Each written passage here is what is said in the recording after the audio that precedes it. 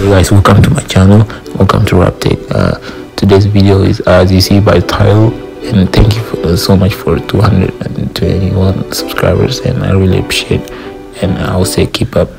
All right, first thing we're gonna do is click on settings and scroll down and click on accessibilities, and after that we click on touch and then assistive touch, and we switch on that and after that as you see uh, this uh, button will come so you can access any uh, settings from here without using other buttons or if they are not working.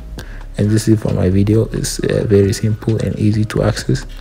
And if you wanna if you guys want to turn off so you do the same method as i did in the previous scene. So this is for my video. Please don't forget to subscribe like and share.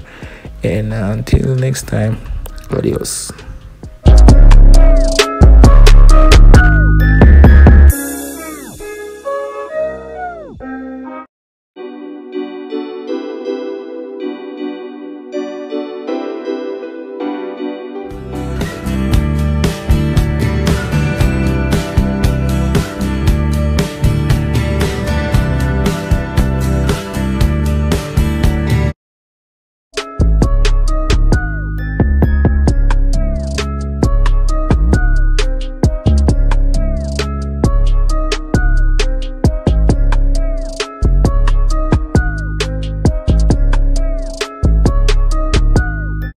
And until next time, this your boy Rab Tech.